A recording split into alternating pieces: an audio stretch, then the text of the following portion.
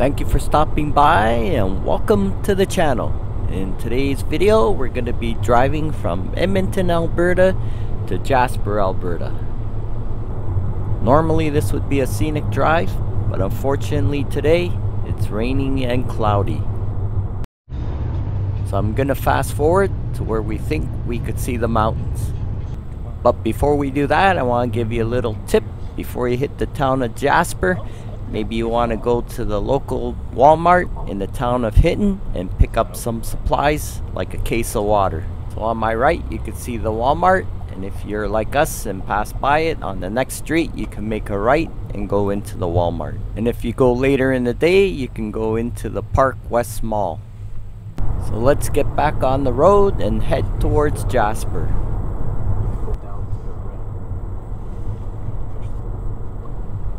While driving, I just want to show you this cool sign, or I thought it was cool. So we're still heading towards Jasper, and this is our view, and it's still raining and cloudy. And I just want to show you a photo of what it would look like on a better day.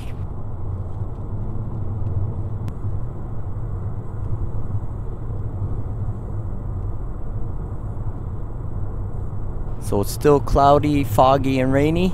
So I'm gonna switch the view to how it would look on a better day. Now doesn't that look better? So here we are entering the Jasper National Park entrance. So I just want to say you're not allowed into the national park without a permit. So if you have a park pass, you go on the far right. And if you don't, you go on the far left as we don't, so we have to go on the left.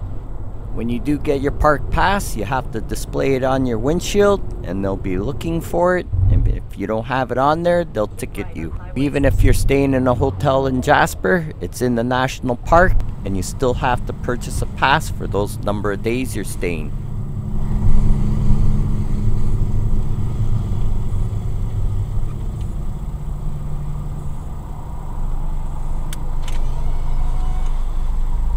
Good morning. Hi.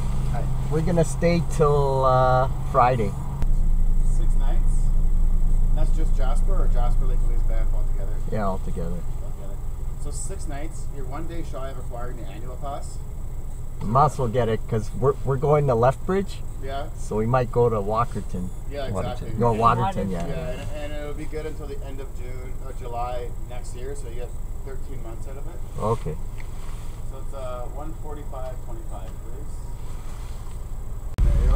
Okay, thank you. You're welcome. Guys put that on the dash.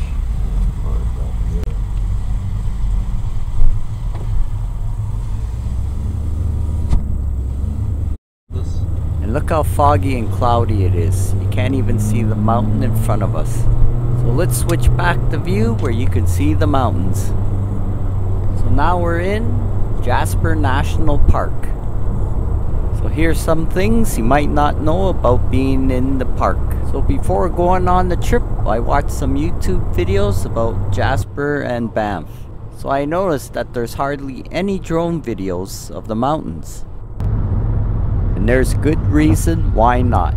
Anyone flying a drone without an approved permit in a Canadian National Park will be fined $25,000. So Jasper and Banff are listed as a Canadian National Park. I was gonna buy a drone before the trip, but once I found out, I decided not to.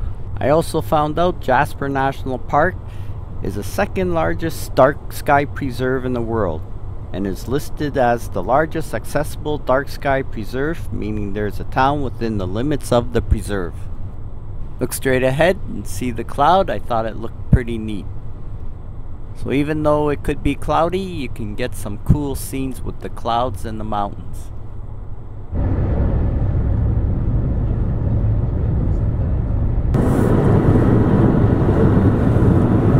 I like the, the way it looks like that. Like cloudy. As you can hear, even my son liked the view with the clouds and fog.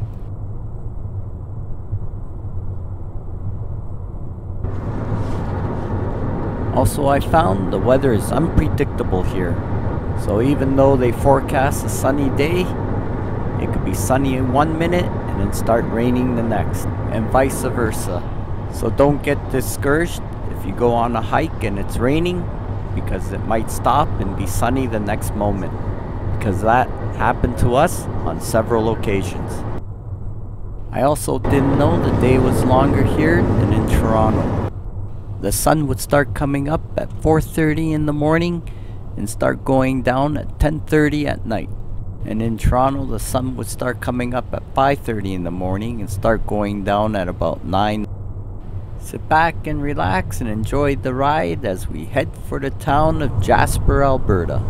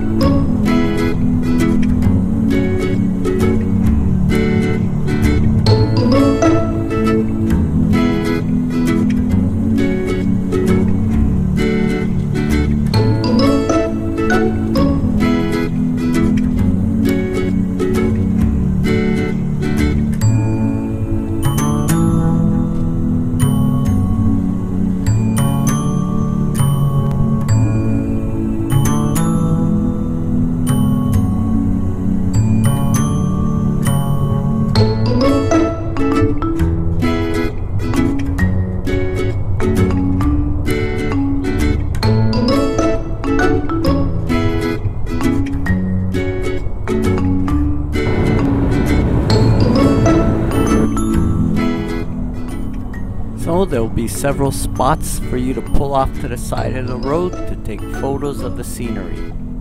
And if you notice, it stopped raining.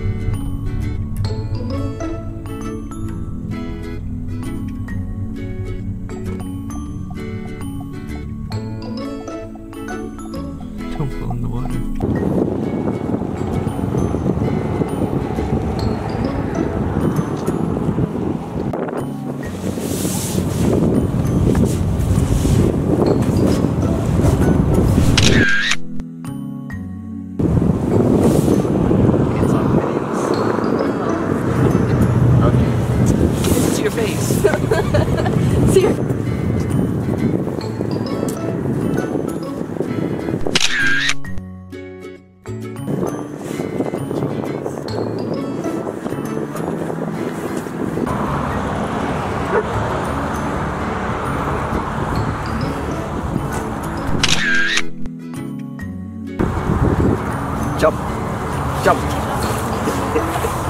That's right. Beats. Okay, that's enough photos. Let's head back on the road.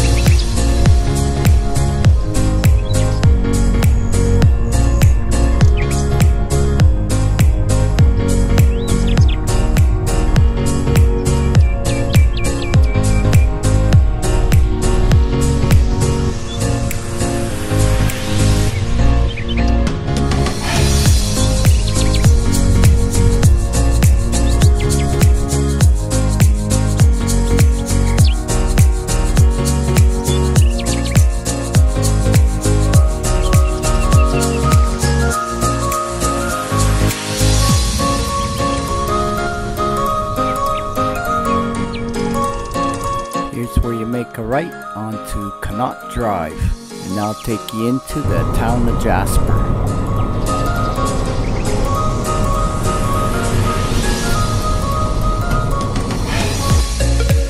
This is also where the town sign is located, and everybody likes to take their photo op there.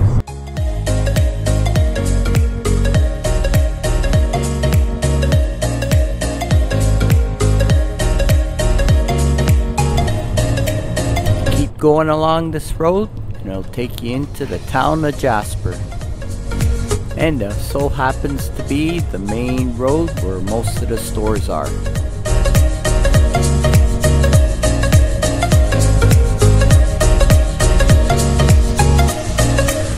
Hey, here we are entering the town of Jasper.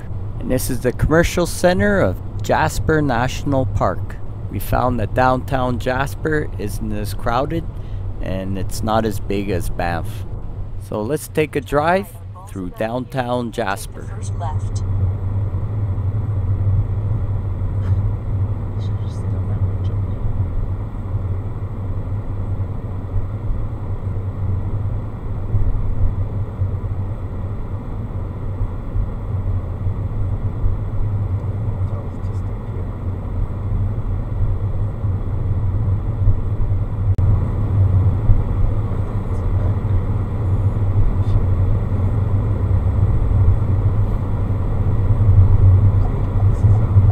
Up ahead is the town railway station and also the municipal parking lot. Is it a restaurant or a hotel?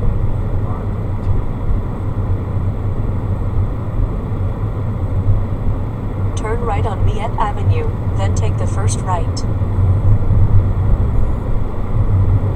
That was smart. Where'd you touch it? Where you going?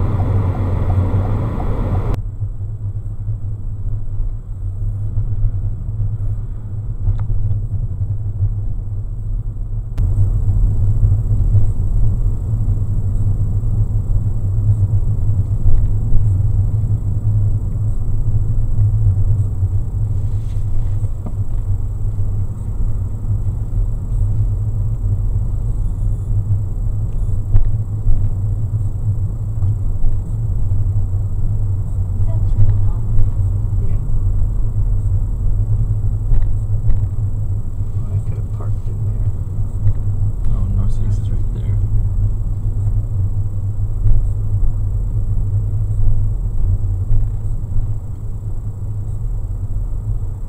Subway. Carolina.